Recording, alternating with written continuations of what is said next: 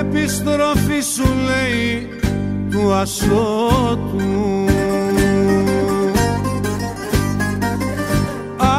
του τάξανε πολλά στο γυρισμό του.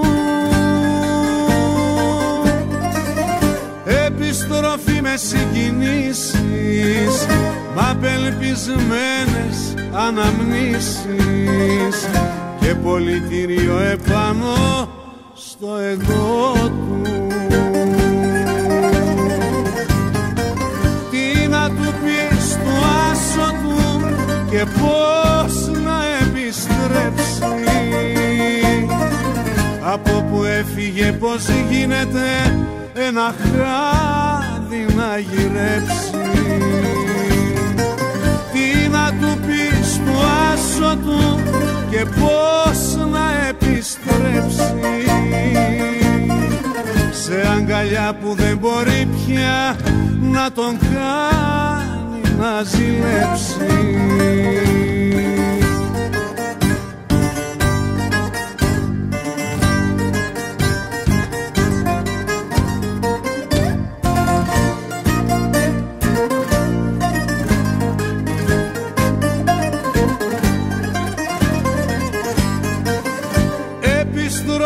Επιστροφή σου λέει του ασώτου.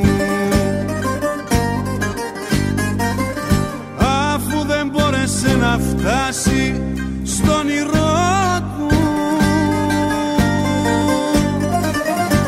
Επιστροφή μες στις συγγνώμες ακούγοντας τις ξένες γνώμες.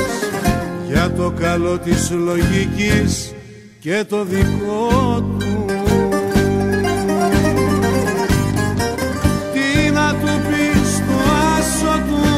και πώς να επιστρέψει.